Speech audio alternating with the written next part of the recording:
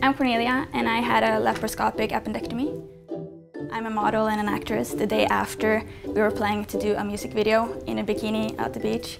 So we had to postpone that one week, but I was actually able to do that the week later. I was concerned about the scars, um, but like to be honest, I don't even notice them anymore. And every day they get less visible and they haven't affected my work at all. So these are my scars, one, two, three. You can barely see them. Two, three weeks after the surgery, I was able to just live my active life, normal workout every day, and I felt in good hands.